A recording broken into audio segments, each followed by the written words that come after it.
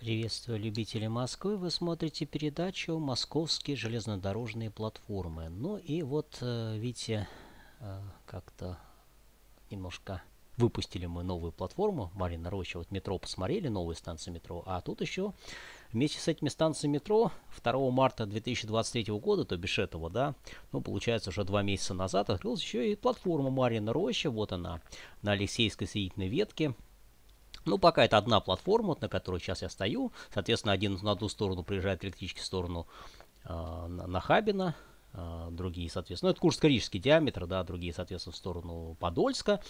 Вот, ну да, вот на Нахабина справа, и слева на Подольск. Ну, тут смотря как смотреть, да. Но там строятся еще две платформы.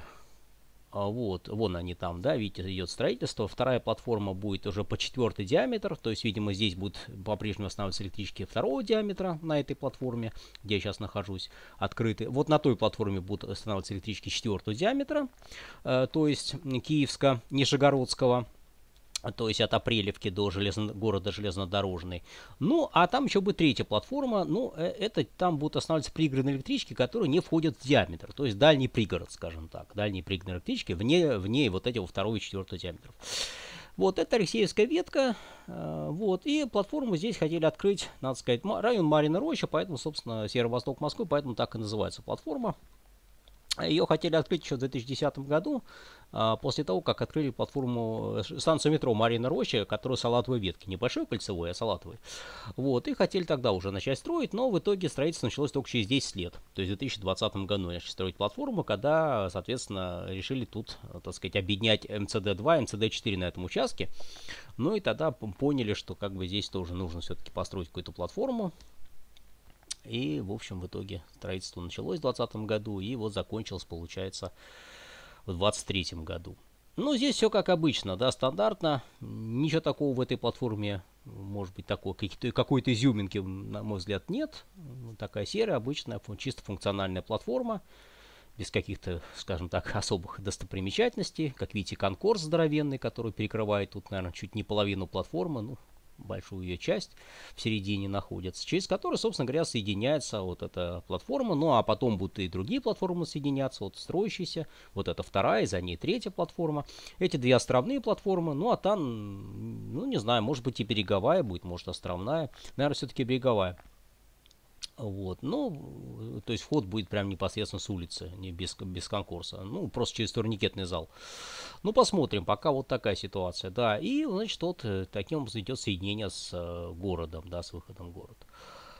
Вот, э, по одну сторону там раньше была, ну, не то что промзона, ну, небольшая такая, да, можно сказать, промзона, хотя по большей части там всегда были склады, гаражи, ну, бетонный заводик работал, вот, то что там вот Веткина улица проходит, чуть подальше Веткин проезд, когда-то там царская ветка проходила.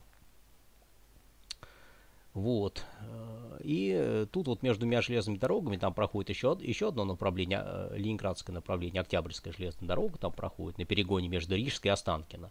Вот. И там вот между двумя железными дорогами, вот это Алексеевской соединительной веткой и значит, вот ленинградским направлением, там, в общем, скажем так, такая была небольшая, скажем так, э, ну, не столько промзона, сколько такая, а, по большей части, складская территория, но с небольшой такой промышленностью в виде в основном так, бетонных предприятий, бетонных заводов, строительная такая отрасль, да. Вот, ну, сейчас я не знаю, по-моему, там уже ничего не работает, Хотя вот из электрички я видел такие бетон-мешалки, может быть там все-таки какой-нибудь бетонный заводик до сих пор и работает. Вот, ну это вот конкурс, э, да, видите, здесь же тоже идут турникеты, скамейки. Пока это МЦД-2, ну, соответственно, скоро будет еще и МЦД-4. Да, проходим и дальше, соответственно, вот идем на выход, идет ко второй улице Марина Роща.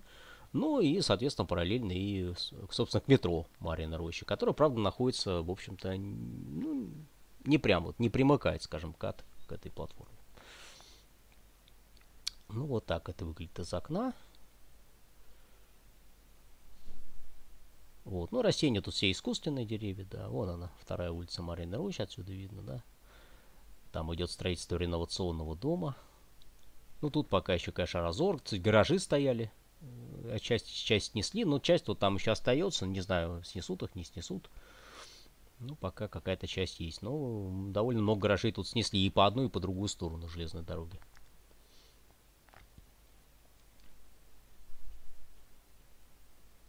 Вот там Шереметьевская улица, конечно, самая главная. Вот видите, по эстакаде как раз по мосту проходит она здесь. Вот, который соединяет всякие улицы, проезды, а, пре преимущество проезда Марьиной рощи. Их же 17 всего. Ну.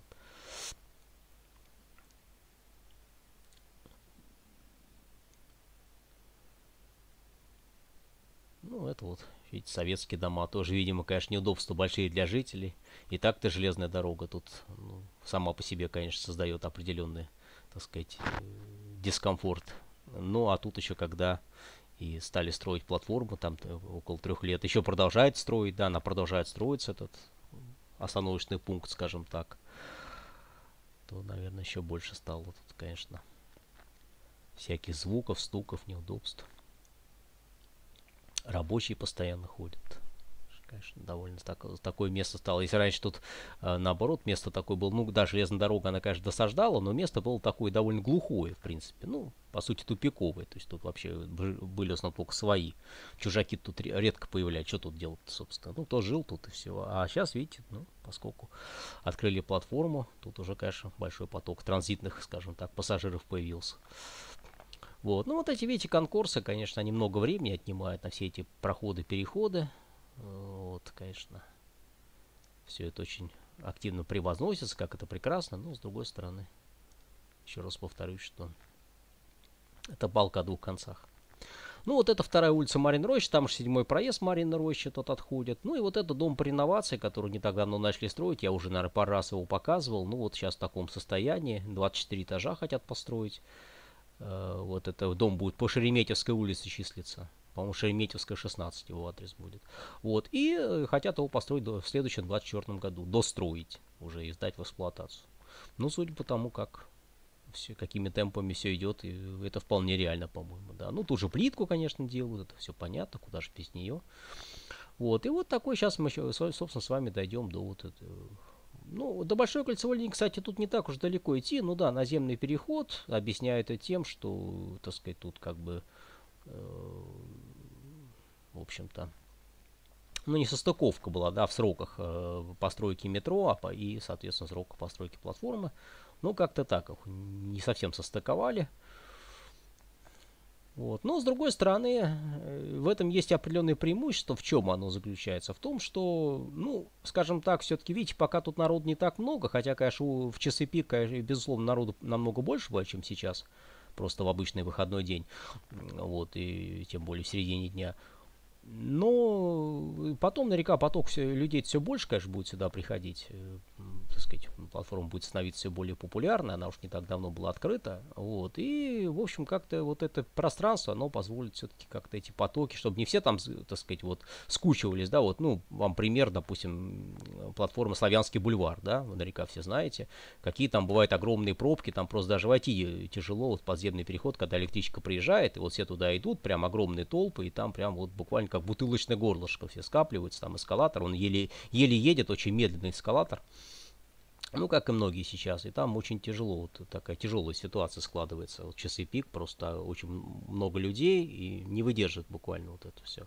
С трудом все работает. Ну, а здесь, видите, все-таки есть пространство, грубо говоря, где как бы разгуляться, да, то есть за счет этого, так сказать, как-то вот людской поток, он будет не сгруживаться как бы вот в одно место, да, а все-таки как-то немножко вот э, тут вот разреживаться. Вот. Ну вот, собственно говоря, вот этот вестибюль, параллелепипед, который недавно я показывал, когда была прогулка около этой станции метро Большой кольцевой линии. Вот, так что, ну, сколько здесь? Вот, ну, 3-5 минут. В общем-то, так вот, если взять э, вот, платформу, ну, за 3-5 минут спокойно можно, в общем, дойти обычным шагом. Если вы не инвалид, там, не, не, не с клюшкой, не, с как, не очень тяжело, там, с ногами не болеть и так далее, ну, тогда вполне за 3-5 минут дойти можно. Но это, конечно, имеется до, именно до Большой кольцевой линии. Если же, конечно, речь идет уже именно о Салатовой ветке метро, то есть Львинско-Дмитровской, вот это, кстати, университет, по-моему, управление какой-то бизнес-университет частный вот, то, конечно, тут э, значительно дальше идти, это уже почти полкилометра получается, ну и тут уже, понятно, за 3-5 минут не дойдешь, то есть тут э, как-то либо надо в это метро заходить, и там уже через переходы, ну, либо надо туда дальше идти, э, за это здание, ну, я проходил как раз, да, мы вот шли от этого вестибюля до, так сказать, того, который находится на улице Ищевский вал, на пересечении Шереметьевской, то есть это довольно-таки далеко, конечно, тут уже минут 10 примерно понадобится, видите. Ну, как-то так. Так что вот так выглядит новая платформа. Ну, как и все э, остальные новые платформы, она, в общем-то, без лица. Платформа без лица. Ничего такого в ней, в принципе, какого-то примечательного нету. Но э, чисто функционал, да. Зато, с другой стороны, вот теперь можно через нее добираться. Если что, то как-то попадать в другие районы Москвы, тоже пользоваться. Вот, а когда еще четвертый диаметр запустят, то и тем более ее э, значение еще больше возрастет, этой платформы. Ну, вот так что, вот, будем считать, что эту платформу мы посмотрели. Но она пока еще строится, поэтому она еще, еще, еще две платформы пока не построены. Ну, уже более-менее понятно, как все это будет выглядеть. Ничего там такого, я думаю, вот, в принципе, мы не увидим, когда построят две платформы. Ну, просто будут еще две и все. А выглядеть они будут примерно так же, как и это. До новых встреч.